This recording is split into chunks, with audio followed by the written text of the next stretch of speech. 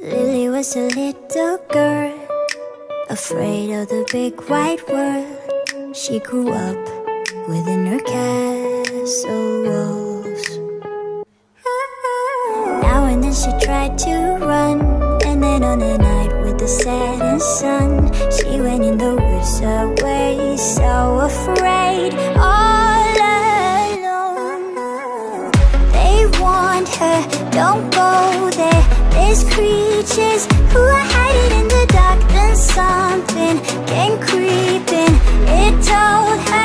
don't you worry, just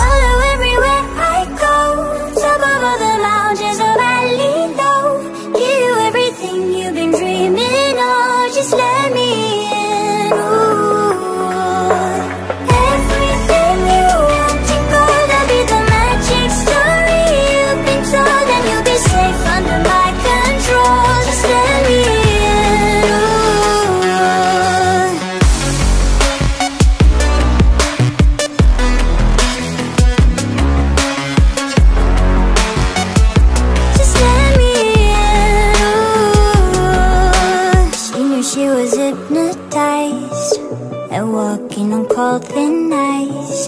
Then it broke and she awoke.